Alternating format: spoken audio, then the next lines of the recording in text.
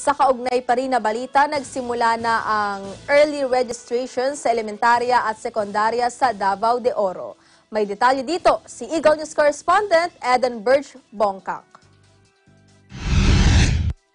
Sinimulan ang early registration para sa incoming kindergarten, grades 1, 7, and 11 sa lahat ng pampublikong paaralan sa buong bansa, pati na rin sa DepEd Order No. 3, Series of 2018 o ang Basic Education Enrollment Policy.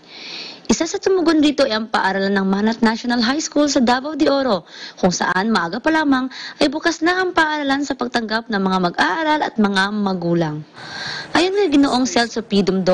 Assistant School Principal Designate ng Manat, pinakalayunin di umano ng aktibidad ay upang marehistro ang mga kabataan na papasok sa kindergarten, grades 1, 7 at 11 para sa school year 2020 to 2021 at malocate at ma-identify ang mga out-of-school children at out-of-school youth sa komunidad.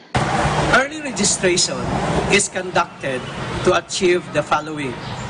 Ensure all new entrants for kindergarten, grades 1, 7, and 11 learners are registered.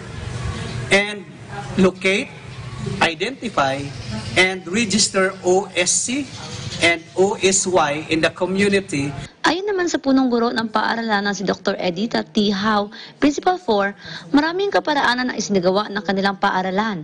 Inimbitahan nila ang mga balik-aral, out-of-school youth, indigenous people, 4Ps at ang mga kabataan na may kapansanan o youth with disabilities. Pursuant to the Deputy Order Number 3 of Series of 2018, our school conducted an early registration for grade 7 in the junior high and grade 11 in the senior high school.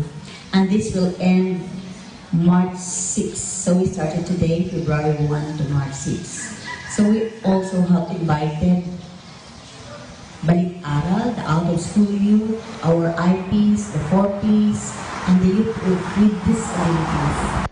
Dagdag pa niya, ang mga guro rin nila di umano ang pumupunta sa mga elementary schools at kumukuha ng mga pangalan ng incoming grade 7 learners at maging sa mga officials ng neighboring barangays para sa listahan ng mga out-of-school youth.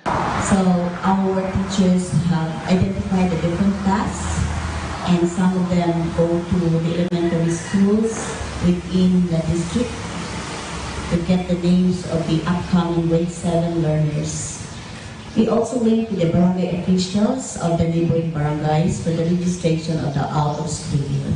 Isa rin di umano sa inisyatibo ng paaralan ay ang pagbibigay ng regalo sa unang sampung mag-aaral na magpaparehistro.